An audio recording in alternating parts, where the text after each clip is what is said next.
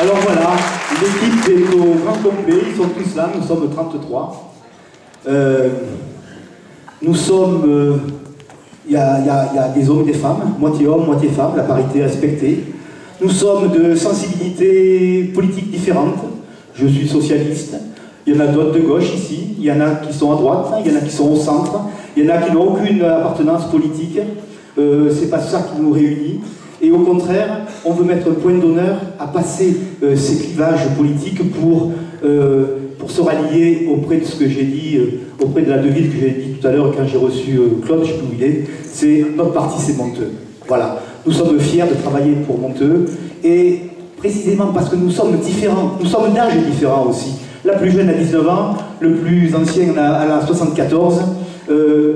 Le, spectre de l'âge est important, le, spectre des professions également très important. Nous sommes différents. Nous sommes différents et à ce titre, nous sommes euh, en quelque sorte un modèle réduit de la société montilienne et c'est pour ça que nous avons euh, envie et vocation à, à- à, à gérer cette commune en respectant tout le monde. Voilà, c'est notre plus grand souhait.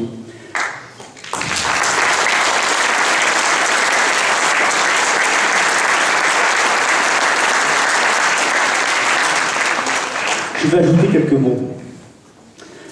Euh, les deux derniers que j'ai présentés, Marilyn et, Michel, eh ils sont là, je ils sont, je les ai perdus. Ah, ils sont là, pardon, je ne les avais pas vus, je vois rien derrière moi. Donc, Marilyn et Michel, euh, je vais leur confier des responsabilités particulières. Notamment, Marilyn, elle va prendre des responsabilités importantes à la communauté de communes. Et quant à Michel, j'ai pu apprécier ses qualités relationnelles, ses qualités de réflexion. Et si nous sommes élus, bien entendu, ça va de soi, eh bien, euh, je le proposerai pour être premier adjoint de la ville de Monteux.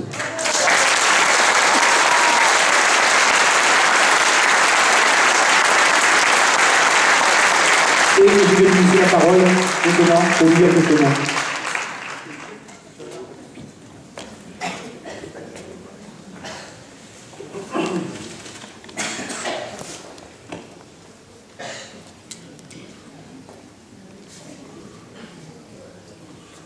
Alors, mesdames, messieurs, vous venez de découvrir les hommes et les femmes qui ont décidé de s'engager aux côtés de Christian Gros pour ces élections municipales.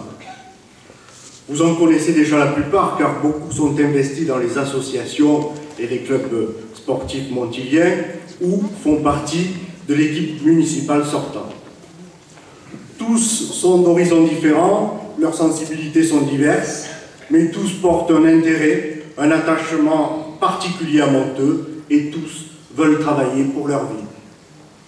Nous venons d'entendre que Pierre et Marilyn sont élus depuis 25 ans, certains depuis 19 ans. Quelques autres, dont moi-même, sommes élus depuis 13 ans. Croyez-vous que nous serions restés aussi longtemps si Christian Gros était le dictateur, était le dictateur que certains prétendent? Évidemment non. En réalité, le maire prend les décisions importantes avec son équipe majoritaire et les commissions extra-municipales, les conseils citoyens permettent de consulter la population. Bien sûr, quelquefois nous discutons, il nous arrive d'avoir des avis différents, mais nous partageons un objectif, c'est de rendre cette ville plus prospère et de faire en sorte que cette prospérité profite à tous. Alors, bien sûr, avoir un objectif clair et s'y tenir pendant des années, cela peut surprendre les girouettes qui sont une fois d'un côté, une fois de l'autre, et qui ne savent pas où elles vont. Lorsque l'on dit « je ferai un audit, je garderai ce qui est bon pour la ville, je mettrai en œuvre une politique réfléchie », c'est qu'en fait, on n'a pas de programme et on ne sait pas où on va. Eh bien nous, nous savons où nous allons et nous voulons y parvenir sans oublier personne. Le programme que Christian Gros va vous présenter maintenant a été fait avec vous. C'est pour vous que nous voulons le mettre en œuvre.